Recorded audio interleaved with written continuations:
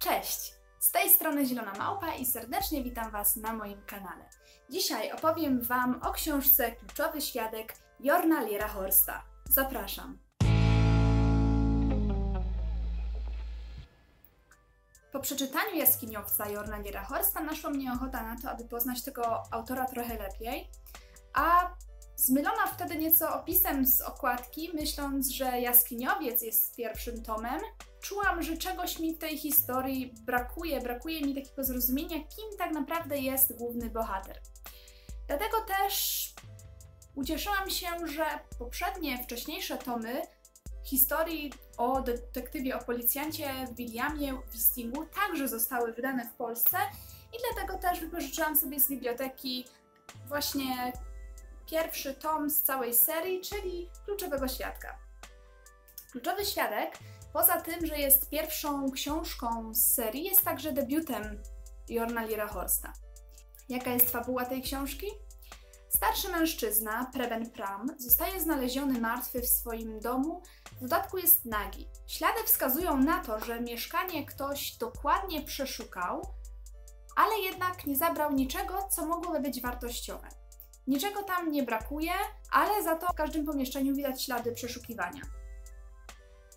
Czy osoba, która popełniła tę zbrodnię, znalazła to, czego szukała? Dlaczego został zamordowany Preben Pram? Na te pytania próbuje znaleźć odpowiedź detektyw, policjant William Visti. Okazuje się, że sprawa ta nie będzie taka prosta, ale jednocześnie historia ta ma swój czar. Ma swój czar, ponieważ historia ta jest oparta na prawdziwej historii, ponieważ autor tej książki, Jorn Lierhorst, był kiedyś detektywem, był kiedyś policjantem, w związku z czym miał do czynienia z różnymi sprawami. Jedną z takich spraw była sprawa, na podstawie której powstała właśnie książka Kluczowy Świadek. Jest to bowiem prawdziwa, niewyjaśniona sprawa, jedynie okraszona niektórymi takimi dodatkowymi elementami, które dodają tej historii smaczku oraz zmyślonym zakończeniem, ponieważ e, historia w prawdziwym życiu niestety nie znalazła swojego szczęśliwego zakończenia. Do dzisiaj szuka się śladów związanych właśnie z rozwiązaniem tej sprawy. Do dzisiaj nie jest ta sprawa wyjaśniona.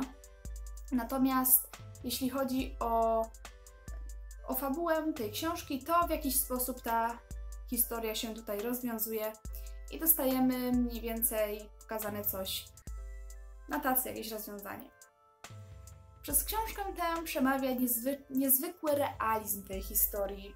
Ponieważ autor był policjantem, jestem w stanie uwierzyć tak naprawdę we wszystko, co opowiada o działaniu, o swoich procesach myślowych, ponieważ on także właśnie był zaangażowany w sprawę, na podstawie której powstała ta książka. Ten realizm jest tutaj i plusem, i minusem, ponieważ tak jak już wspomniałam, jest to także debiut. I ten debiut niestety tutaj czuć, szczególnie w porównaniu z jaskiniowcem, ponieważ w kluczowym świadku język autora jest mało plastyczny. Opowiada historię, ale opowiada ją dość, dość mocno liniowo.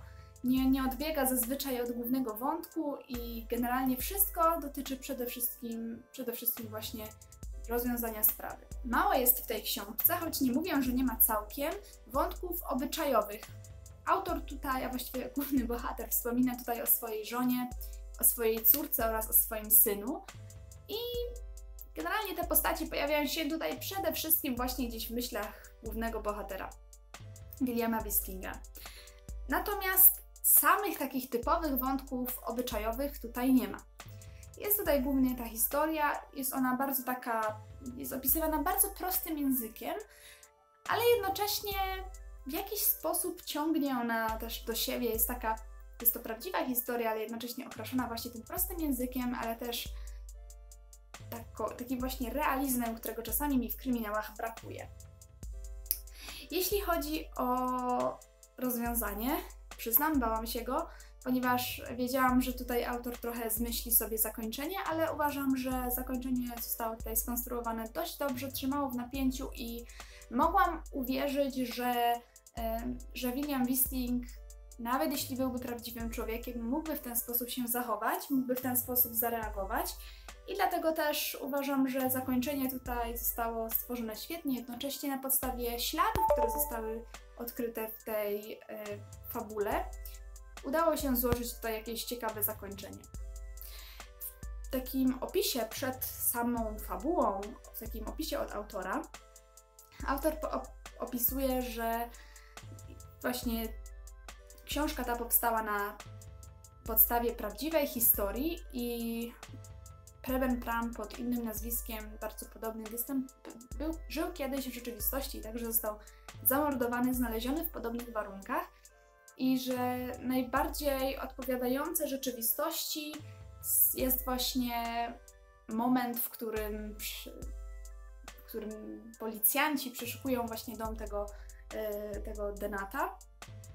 I ten moment też był taki dość on był najbardziej opisowy z tych wszystkich, ponieważ e, jednak e, opisanie miejsca zbrodni jest bardzo istotne i tutaj rzeczywiście autor przyłożył się do tego i stworzył naprawdę świetne miejsce zbrodni, które myślę, że można by nawet całkiem dobrze na podstawie tej książki odtworzyć.